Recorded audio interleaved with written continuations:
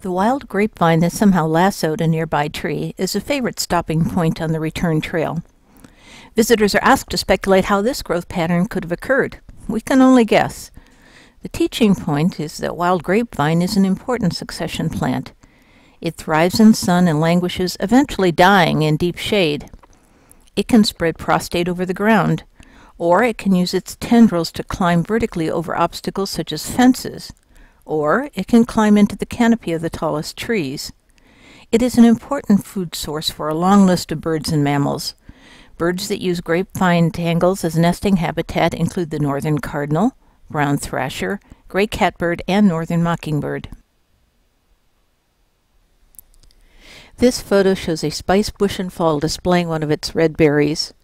This shade-tolerant understory shrub or small tree rarely exceeds 12 feet in height and ranges widely across the eastern United States. It is one of the earliest spring bloomers with yellow flower clusters adorning bare branches.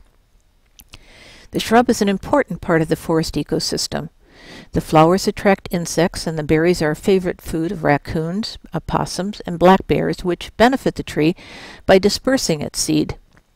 The plant can also spread by producing stolons, which are specialized stem structures spreading from the mother tree at ground level that can take root and form a small colony of new trees. The leaves are an essential food source for spicebush swallowtail larvae, one of Ohio's strikingly beautiful butterflies. Unlike most native Ohio plants, American witch hazel doesn't bloom until late fall or early winter. Small yellow flower clusters with four long, twisted, narrow petals appear on the bare branches of witch hazel long after the leaves of surrounding trees have fallen. The wavy leaf margins and the asymmetric leaf base, making an oblique angle with the leaf stem, are easy to see field marks for identifying it in summer. The seed pods explosively eject their spring-loaded seeds up to 30 feet. It's a dispersal mechanism that keeps the tree from competing with its own offspring. People have been using the mildly aromatic extract of its leaves, twigs, and bark to make astringent lotions and liniments for centuries.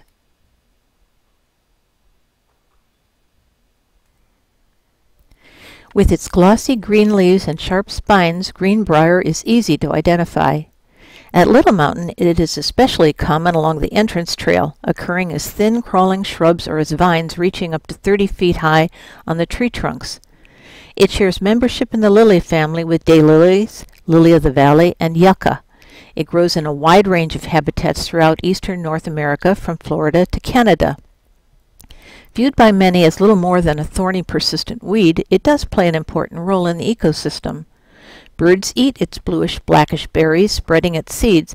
It can also spread by tubers and rhizomes, which double as food for mammals. A member of the honeysuckle family, maple leaf viburnum grows 3 to 6 feet high unless browsed by deer. This is a true understory plant that requires shade to thrive. Native to eastern North America, its range is from Florida to Canada.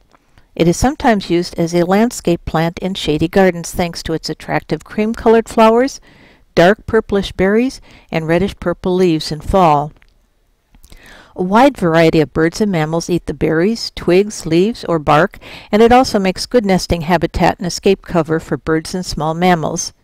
It is vulnerable to the Eurasian viburnum leaf beetle, a non-native invasive insect known for quickly skeletonizing 100% of the leaves on a plant. Birds of Little Mountain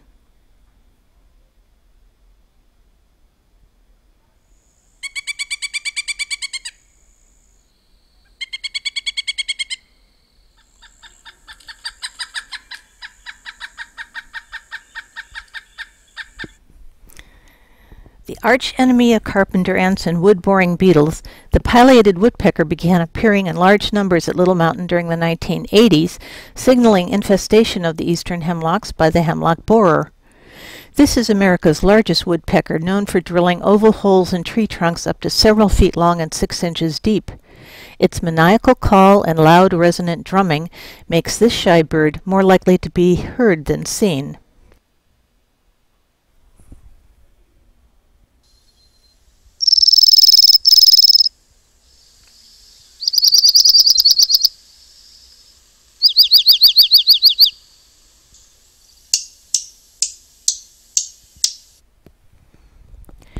Dark-eyed juncos, or snowbirds, are normally winter migrants to Ohio, arriving in November and then departing in April to return to breeding grounds as far north as the Canadian tundra and Alaska. The sole exception in Ohio are small breeding populations that reside year-round in hemlock ravines of the northeastern corner of the state, hidden in secluded habitats like Stebbins Gulch and the crevasses of Little Mountain. These widespread and common members of the sparrow family live in small flocks with firmly established pecking orders. They're often seen double scratching the ground with both feet in a sort of backward hop to expose seeds and insects. They have bright white outer tail feathers that flash in flight.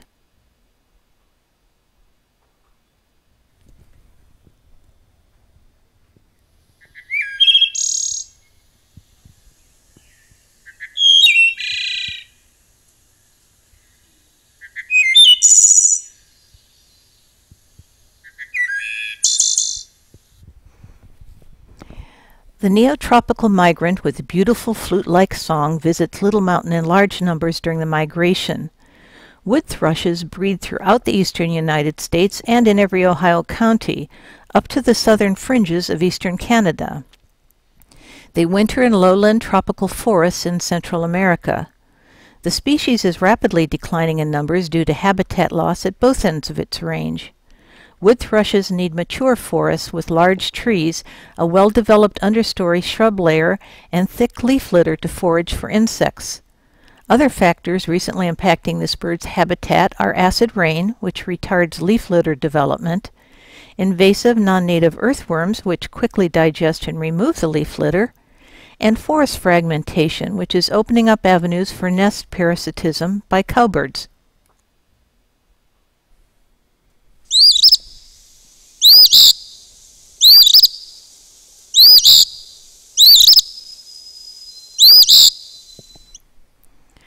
One of our earliest returning migrants in spring, eastern phoebes immediately get to work building or refurbishing mud and grass nests in protected nooks of cliffs and bridges or under the eaves of barns and houses.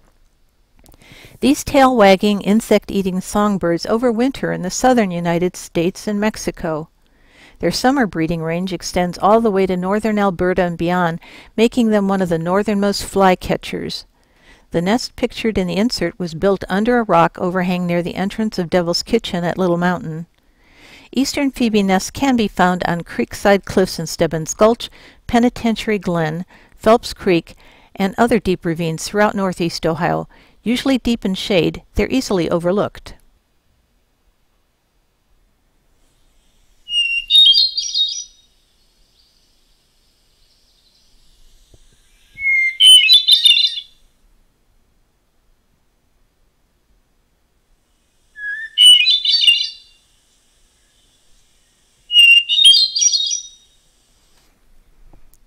This is the only spotted thrush that overwinters in the United States, in our case in Ohio, in the southern half of the state. The hermit thrush's flute-like, somewhat mournful song is said by some to be the most beautiful of all the thrushes, a bird family with lots of great songsters. It has a reddish-brown tail and rump, and has the habit of slowly raising and lowering its tail. Hermit thrushes forage for insects on the forest floor in the leaf litter where they are almost perfectly camouflaged and difficult to spot. These birds prefer hemlock gorges and unbroken forests as breeding sites, nesting on or near the ground. The rapid expansion of residential areas around Little Mountain could make this species vulnerable to feral and free-roaming domestic cats.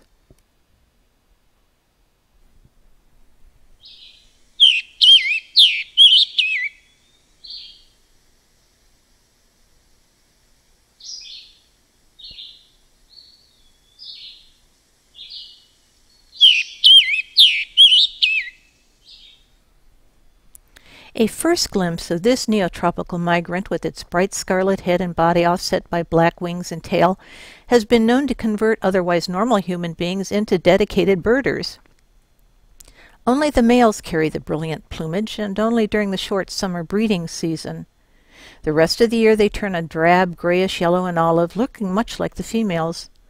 Scarlet tanagers spend most of their time hunting for insects in the tops of tall trees, making them difficult to spot, especially the females. They prefer breeding in large and broken forests, habitats that are becoming ever more challenging to find in our increasingly urbanized and suburbanized landscapes. In fall, they migrate as far south as Bolivia, where they feed mainly on tropical fruits in the rainforest canopy. Uncommon plants. Northern starflower, a spring-blooming member of the primrose family, has seven leaves, seven sepals, and seven petals. A native perennial wildflower, it prefers cool woods, high slopes, dappled shade, and moist soils in either deciduous or coniferous forests.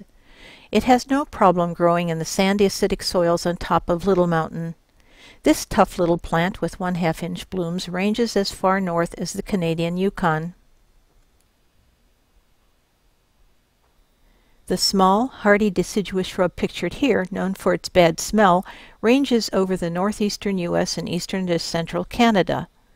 Bristly sarsaparilla is a member of the ginseng family. It thrives in sandy, dry, sterile soils of shady, rocky woods and cliff tops, an excellent description of the habitat on Little Mountain. The bark and roots were prized for making teas and medicines of questionable effectiveness. Bristly sarsaparilla is now listed as endangered in Ohio, Indiana, and Maryland. American ginseng is a perennial herb of the ivy family long used by Native Americans for medicinal purposes, good luck charms, and love potions.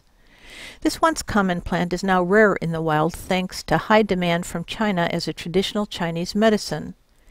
The attractive plant, easily overlooked on the forest floor, grows in deciduous forests ranging from the American Midwest to Maine and eastern Canada, and also occurs in the Appalachians and Ozarks.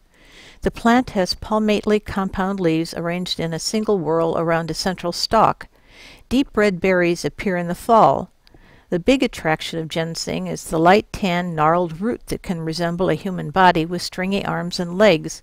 It takes six to ten years for marketable roots to form. Current prices for dried ginseng root range from 600 to $800 a pound, subjecting wild populations to overcollecting and illegal harvesting.